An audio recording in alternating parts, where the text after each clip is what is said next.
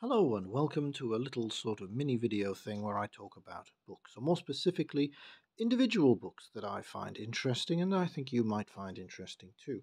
This one, for instance, is The Ghost Stories of M.R. James, as you can see, selected by Michael Cox, who was a biographer of M.R. James as well, and illustrated by Rosalind Caldecott. So it's quite a nice edition. Um, I think this is second hand. As you can see, it's got ooh, Tiger Books International London, uh, this edition 1986. So these are the contents, and as you can see, it's a fairly reasonable selection of M.R. James classics. There are some inclusions and some exclusions that I might question. Um, obviously, you've got the standard issue ones. You've got Canon Alberic's scrapbook, The Mezzo Ten Lost Hearts, Oh Whistle I'll Come to You, um, and of course, Warning to the Curious. You've also got The Residence at Whitminster, which I can't help feeling isn't really that great, but perhaps they needed it to make up the page count. Yeah, well, matter of opinion, of course. Um, there's a good introduction with a picture of the man himself. Elf. This is uh, William Strang's portrait of 1909, and a nice bit of background detail and so forth. Uh, pictures of the family. Uh, M.R. James' old mother there, and his old dad with a magnificent Victorian beard. The Victorians did beards like nobody had ever done beards before, at least not since ancient Greece, anyway. Um, this is the sort of equivalent of the Bullingdon Club of the 19th century, except these were mostly decent human beings.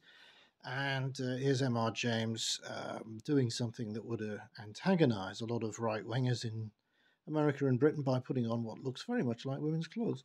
He's actually, uh, oh god, Pythagoras, possibly, in Aristophanes the Birds, performed in Greek it came, of course, it was performed in Greek at Cambridge in 1883. Why wouldn't it be? And there are lots of other pictures. This is Jane McBryde, uh, his ward, uh, the daughter of his very good friend James McBryde, who died young, and he, well, he was her ward, Gwendolyn McBryde, and so forth. Um, the actual McBryde illustrations, of course, for Ghost Stories of an Antiquary were never completed because McBryde died.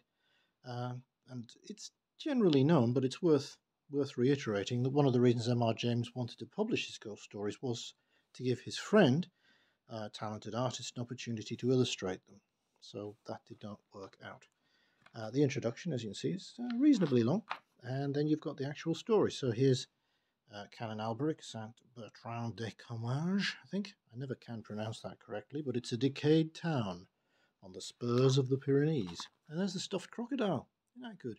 I it's pretty good the stuffed crocodile hangs in the church and so forth, and the actual cathedral, the way up the road. Yeah, the usual thing. Lost Hearts. That's not bad, Aswarby Hall. And so on and so forth. Um, I think this book, if you can get your hands on it, is pretty good. It's got a lot of illustrations. Um, it's a very pleasant read. The print's nice and large, which as you get older becomes more and more of an issue, of course.